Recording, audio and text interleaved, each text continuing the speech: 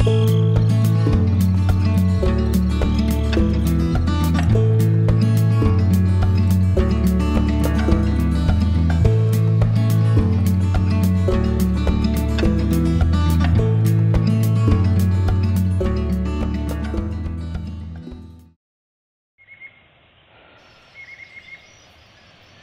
दोस्तों ये है दार्जिलिंग का ए टी पार्क जो कि बिजनबाड़ी में है। तो मैं यहाँ कल नौ बजे यहाँ पे आया था। कल का जो इसका वेदर था, बहुत ही अच्छा था। गर्मी भी बहुत ज़्यादा था। तो आज कल रात यहाँ भारी बारिश भी हुआ इस इस वजह से इसका ये हालत है। तो कल का जो मेरा यहाँ का एक्सपीरियंस रहा, मैं अभी आपके साथ शेयर करने वाला हूँ।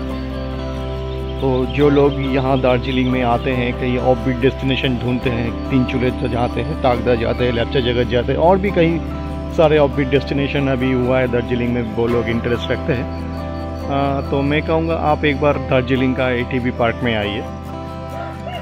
इन्जॉय कीजिए। आपका दिन ऐसे ही गुजर जाएगा। यहाँ का नज़ारा देखिए। मैं आपको पूरा घुमा के अभी वो रिसोर्ट का पूरा अभी मैं दिखाऊँगा। उस तरफ़ स्विमिंग पूल पड़ता है और सामने जो आपका दिखाई दे एक हट टाइप का वो एक रेस्टोरेंट का बार है। यहाँ के लोकल लोग डे आउटिंग के लिए यहाँ पे आता है और अभी दो कॉटेज है यहाँ पे। एक वो सामने वाला जो ग्रीन वो रूप आपको दिखाई दे रहा है वो वाला। वहाँ पे मैं ठहरा हूँ फ़र्स्ट फ्लोर में। और उसके पीछे वाला भी एक कॉटेज है और एक कॉटेज नया है वो अभी बन रहा है। तो सामने जो दिखाई दे रहा है या वो ए टी कार आप यहाँ पे चला सकते हो बाहर भी जा सकते हो घूम सकते हो।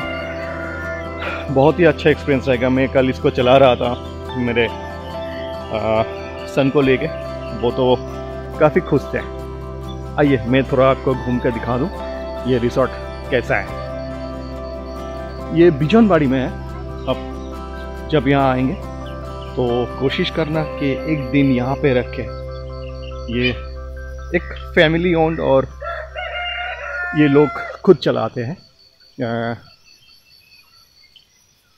जिसके साथ मेरा बात हो हो रहा था, वो एक दिल्ली का, यहाँ का लड़की, वो दिल्ली में है अभी।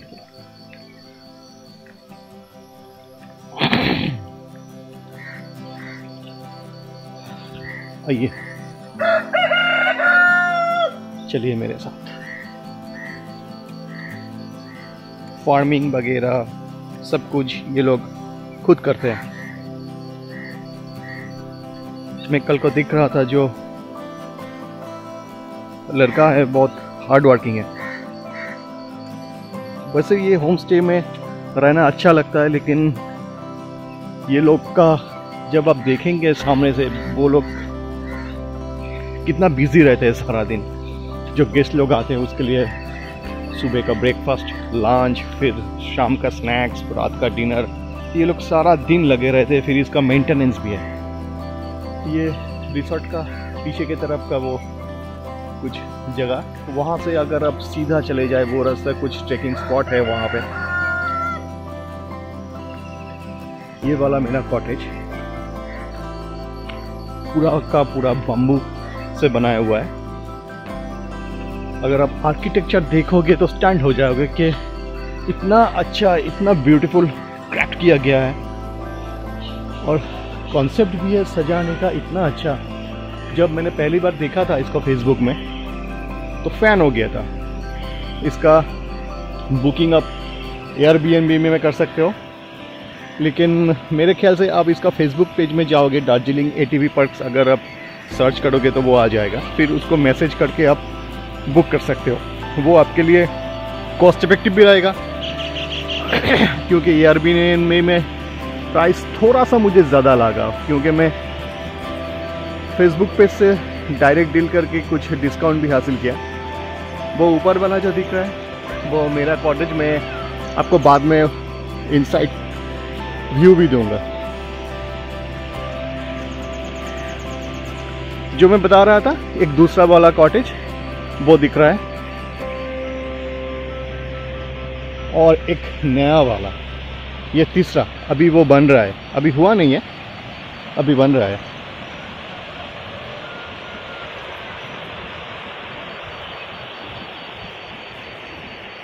वो रहा स्विमिंग पूल कल पूरा दिन, दो घंटे पूल में मैंने बिता।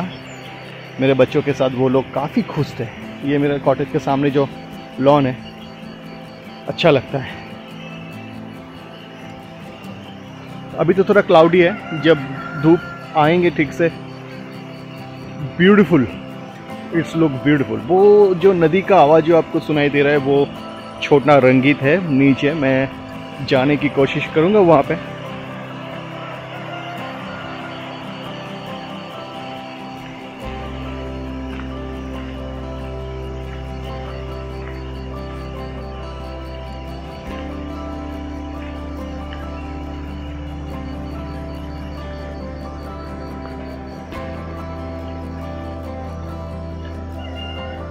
रहा वो पुल।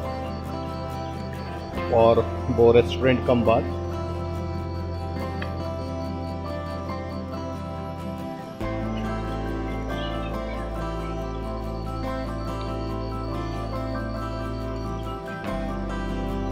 ये है कॉमन किचन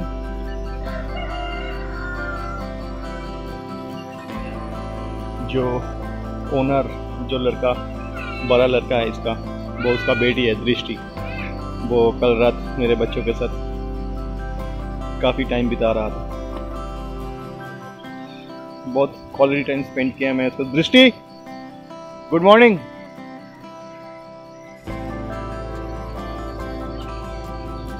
ये मैक्स है। इसका नाम मैक्स ये दृष्टि है।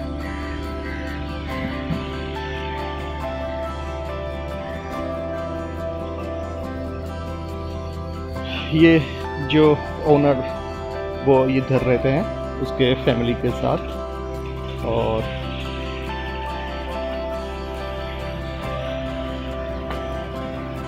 ये वो रेस्टोरेंट है जिसका मैं बात कर रहा था।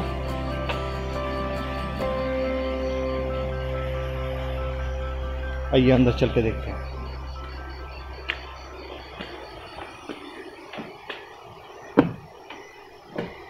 ये है मिस्टर विशाल। हेलो यो जो मैंने बताया था यहाँ का जो लड़का है उसका काजिन है ये दार्जिलिंग में पढ़ता है। छुट्टी में अभी आया है इसको काजिन ब्रदर को हेल्प करने। ये रेस्टोरेंट कम बार है। देखिए ये ये लोग कितना हार्ड वर्किंग है। सुबह से उठकर मेंटेनेंस में अभी लगे हुए हैं। कल पूरा दिन विशाल ने बहुत हेल्प किया हमको। कभी चाय, कभी स्नैक्स कभी फ़ूड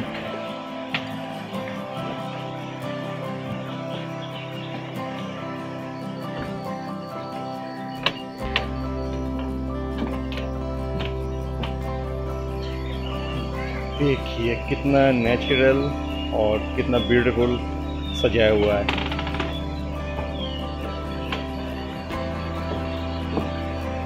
अब मैं कोशिश करूँगा थोड़ा नदी के पास जाऊँ।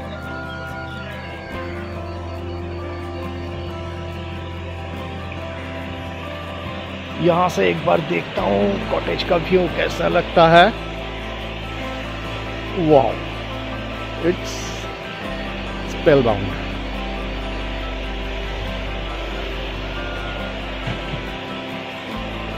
it's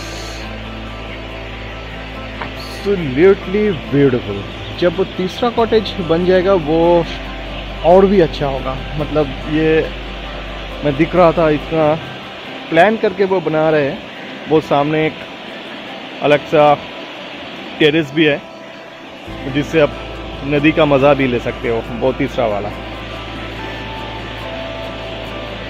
ये है नदी का तरफ़ जाने का सीढ़ी और ये है छोटा रंगीत जो लोकल लोग रहते हैं वो शायद एक आ, लोकल गाँव का वो एक घर है।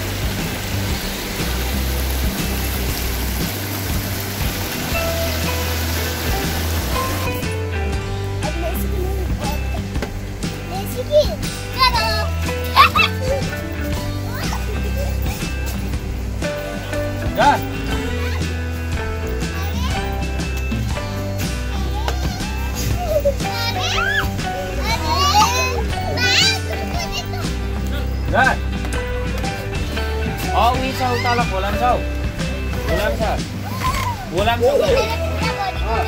देखा दृष्टि तुम गिर ना जाओ, संभाल के। तुम गिर ना जाओ। अच्छा दृष्टि बाबू बाबू बाबू बाबू। दृष्टि दृष्टि बन गया वाटरफ्लाई।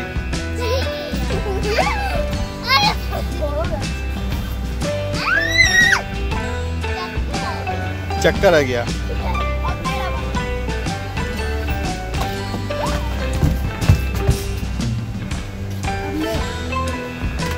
Marano disse, não vou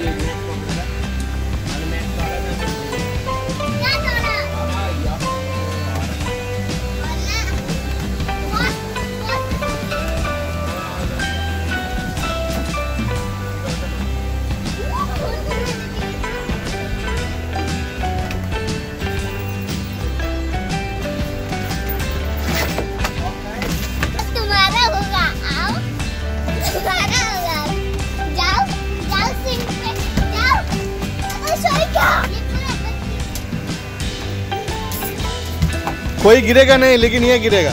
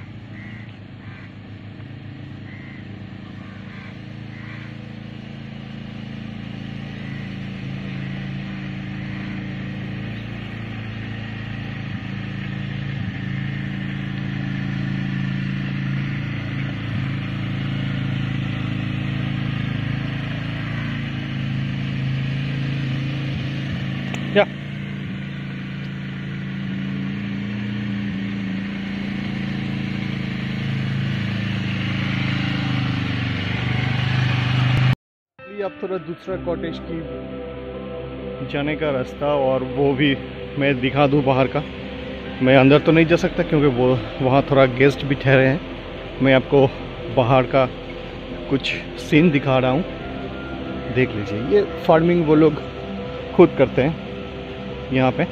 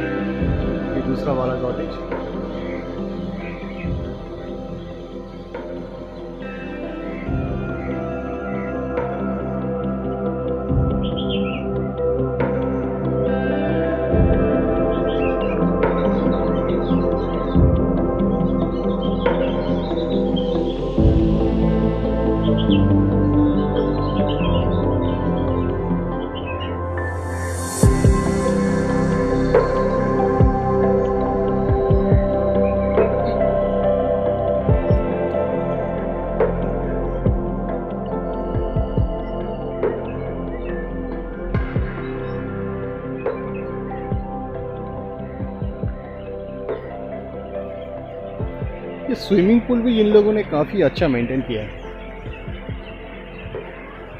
मतलब पानी भी साफ़ है। ऐसा नहीं है कि ये गंदा है, ये लोग चेंज भी करते हैं, पानी भरते भी हैं।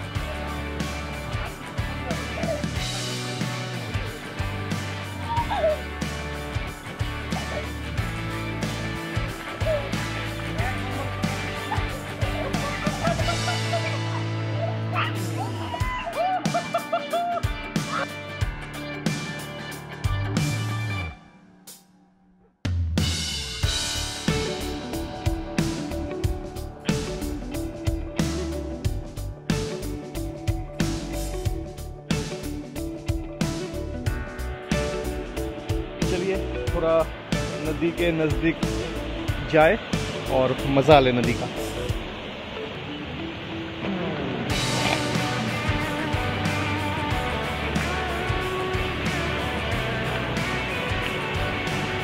ऐसा एक्सपीरियंस मेरा जब पहली बार हुआ था वो है ऋषि खोला में। अ, आप लोग जाएँगे तो भी ऋषि खोला में भी ज़रूर होके आइएगा। वो एक ब्यूटीफुल ब्यूटीफुल स्पॉट है जो वेस्ट बंगाल और सिक्किम के बॉर्डर में है। वैसे ही ऋषि एक रिवर है, वहाँ पे ऋषि रिवर उसको लेके एक तरफ़ बंगाल पड़ता है, एक तरफ़ सिक्किम पड़ता है। आप चाहे तो सिक्किम के साइड भी रह सकते हो, अगर चाहे तो बंगाल के साइड में भी रह सकते हो। एक दिन अगर वहाँ बिताएँगे तो वाह दिन बीत जाएगा, आपका पूरा ऐसे ही पता भी नहीं चलेगा।